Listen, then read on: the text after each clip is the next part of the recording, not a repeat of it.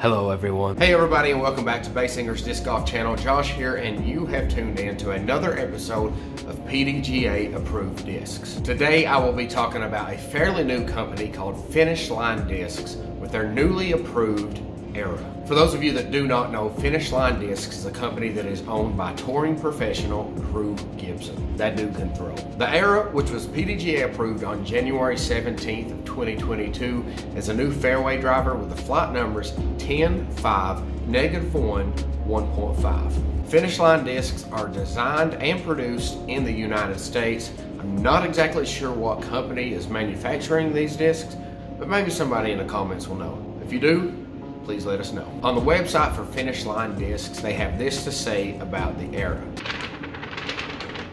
Our first disc, the Era, will be available at retailers everywhere in the spring of 2022.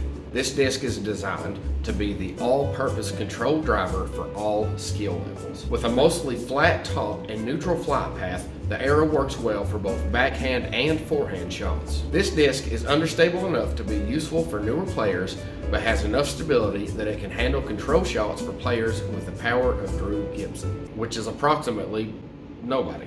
The Era has enough speed and glide to go as far as many distance drivers, but has minimal fade for the straight flight of a fairway. This disc is for everyone. The finish line discs, the finish, oh god.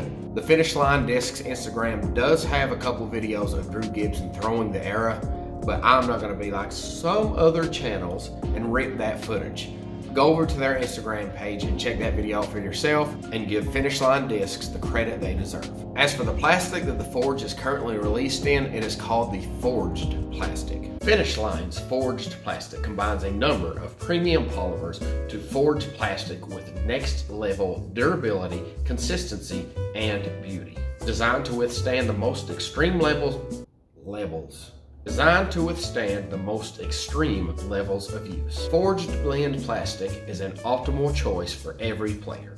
That's about all the information I have about the Era from Finish Line Discs. If you have any information about this disc more than I have, please feel free to leave that in the comments so other viewers of this video can learn the same information that you know. I do, however, know that they are working on a second disc, which is a mid-range called the Supra.